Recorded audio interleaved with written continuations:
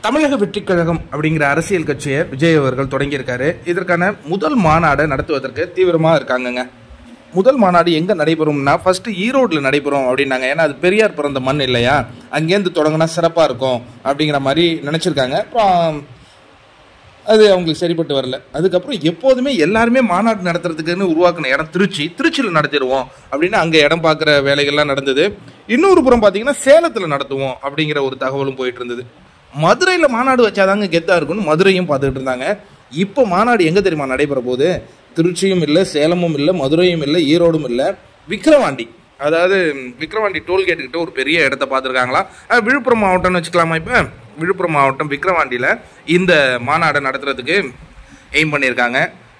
September இருபத்தி ரெண்டாம் தேதி வாக்கில் இன்னும் அதிகாரப்பூர்வமாக டேட் அனௌன்ஸ் பண்ணல பட் செப்டம்பர் இருபத்தி ரெண்டு விஜய் அவர்களுடைய திரைப்படமாகிய கோட் வந்து செப்டம்பர் ஐந்தாம் தேதி ரிலீஸ் ஆகுது. இருபத்தி ரெண்டாம் தேதி வாக்கில் மாநாடு நடைபெற போகுது அப்படிங்கிற மாதிரி. ஆனால் இது எதுவுமே அதிகாரப்பூர்வ அறிவிப்பாக இப்போ வரையும் வெளியிடலை.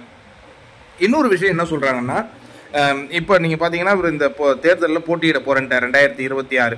இப்போ மாநாடு சொல்லி அதுக்கப்புறம் அந்த வேகம் எடுக்கணும். நீங்கள் பார்த்தீங்கன்னா ரெண்டாயிரத்தி இருபத்தாறு அப்படிங்கிறது ரொம்ப தூரம்லாம் இல்லை. அவங்க அரசியல் கட்சியை பொறுத்தவரையும் இருபது மாதங்கள் தான். இருபது மாதங்கள்ங்கிறது புது அரசியல் கட்சிக்கு ரொம்ப கடினமான ஒரு நாட்கள் தான்.